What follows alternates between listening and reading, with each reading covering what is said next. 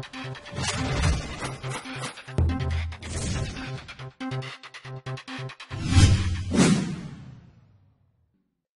guys, welcome to a new tutorial with me, Erickah Edits. So today I'm going to be showing you guys how to make a preppy border on Photoshop. So yeah, let's get started. Okay, so let's just pretend I have this preppy sign over here. So we're going to be making a border for this invisible preppy sign. Okay, first you're to go to your bucket tool, and then make a new layer. And then you're just to fill the background in. It doesn't even matter because it's to be covered anyway, so and then you can go to fill and just change the fill into 0%. And yeah, you can see it's invisible now, but you won't see it. So um, I'm just, you're going to right click on that layer, then you're going to the option, and then you're going to go to stroke, and um, you can change the position to inside or outside or center. Don't put outside, inside or center. So change the size to 1 and going to change, or you're going to leave the color to black and then you're just going to press. So now you're going to make a new layer and going to merge it with your layer 1 layer. So hold the shift button while selecting both layers, right click and then go merge layers. Now on that layer you're going to right click again and you're going to go to the option and we're going to put the stroke, change the color to white. So you can't see it because my background at the moment is white, which is probably in good. But change the color to white, then press OK. Then going to change the, the size to 1. Then press OK.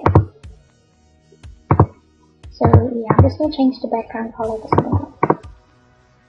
Okay, you can see there's that white thing there. So now you're going to make a new layer again, and you're going to merge it down with your strokes layer. So both of these layers, just merge it down. So right click, merge it. And then you're to right click on that layer again, and then go to blending options.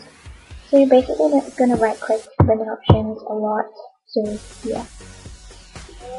Then you're going to go to stroke, and then go change the type to gradient. And if you have a color scheme, it's better to use your the color scheme. Um, it's better to use the colors of the color scheme for the gradient. So yeah, I'm just gonna use this gradient. And then you can change the angle to 90. You don't have to, but it's better, you know. And yeah, you're gonna change the size to about 5. And then just press OK. And now you can make a new layer again and merge it down with the old one. So you can right click on that layer and then go to the option. Then you can go to stroke again. So you're basically doing like the same thing. So yeah, just like settings and stuff. So this time we're gonna go we're gonna change the fill type to pattern and just choose any pattern that you want to use. I'm just gonna use this one and change the size to about two or three. And then just press OK. And then you're gonna make a new layer again and merge it down you did like hundred times. Not literally, Okay. You can right click on that layer and then you can go to blending options. And go to stroke.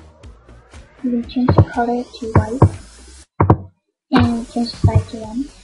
And you can also put a pattern overlay only if you want only if you want to.